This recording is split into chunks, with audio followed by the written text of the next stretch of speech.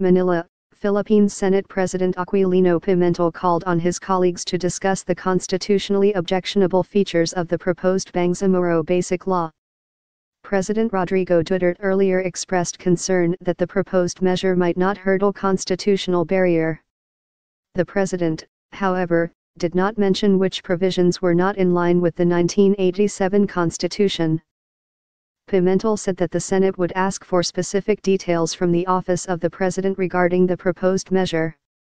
In fairness to the President marami naman talaga like for example, adapting a parliamentary form of government within a local government unit while in the national level we have a presidential form of government. That's a good constitutional question, Pimentel told reporters. Read, Duterte, BBL may not hurdle constitutional barriers.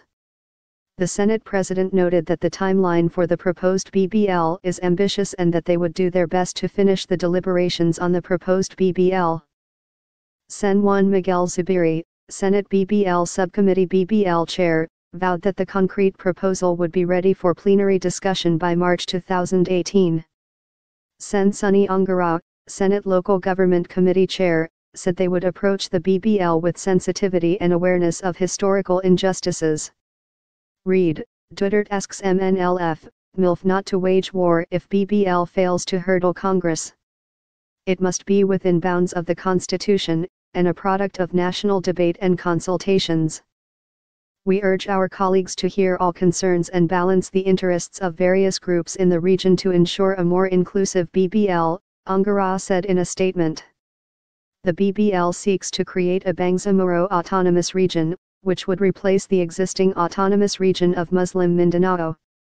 The proposed measure failed to pass in the previous administration due to the Mama clash in January 2015, which led to the deaths of 44 Special Action Force commandos, 18 Moro Islamic Liberation Front rebels, and 5 civilians.